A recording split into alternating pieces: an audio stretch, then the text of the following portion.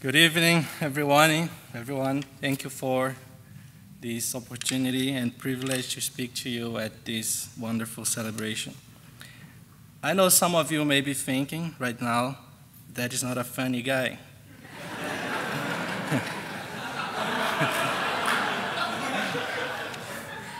and this is true. Earlier this week, I was planning to give a speech full of jokes until Reverend Tedrick sent the list of the speakers, and I saw Alan, Alan Giles' name was there. I thought to myself, they will have enough jokes.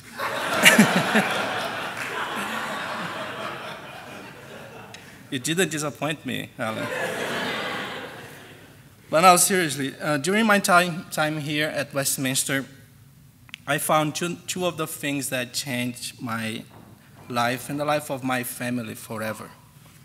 The first thing was education. I was born in a very poor family in northern Brazil, in the Amazon area. And even before I was born, my father had put in his mind that the only way out of poverty was through education. And he and my mother made many sacrifices to send us to college to have the education they, they didn't have.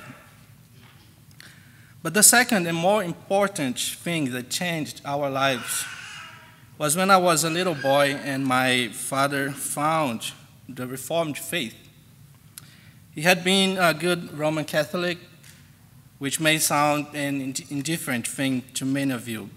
But at that place, Roman Catholicism was, and still is, just a religion full of superstition and idolatry.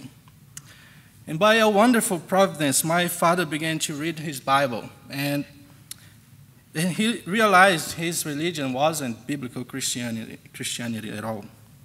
Of all places, he decided to join the small Presbyterian church of our city. And when I reflect on his conversion, I can see that secular education can illumine minds and change lives, but it can't give spiritual illumination to salvation. So when my father matched the doctrines of grace, it was truly uh, post tenebras lux, you know, after darkness, light event for him and for all of us. And so I was happy that I found here these two things that changed my life forever. I found outstanding education. I studied here with professors I deeply admired, who are my, my references of scholars.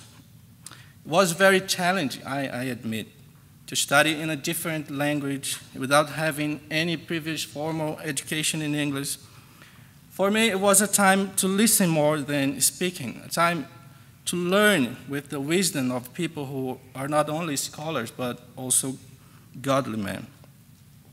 But I was even happier to find out here, in, in this sense, the same old doctrines of grace that I learned from my parents so long ago.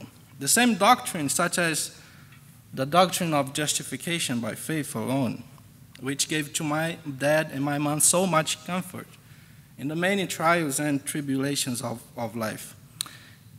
So I feel gratitude to be part of this wonderful community of students who is represented here in this class of 2020.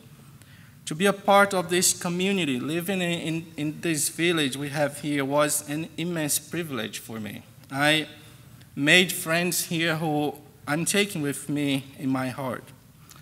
Now I'm going back to my country and I'm taking with me great memories of this institution. I have a special thanks to the administration, which was so generous to me and, and my family.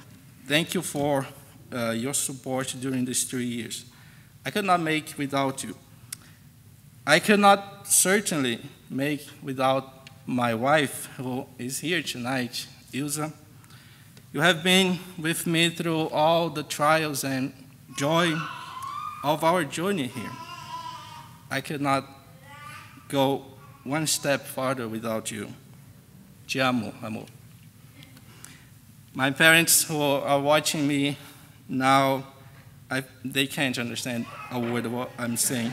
So, uh, Allow me to thank them. Obrigado, pai e mãe. Sem vocês, eu também não estaria aqui esta noite. And to all of you, you remain in my prayers, and I hope to honor the name of this seminary wherever the Lord in His providence guide me and my family in the future. Thank you.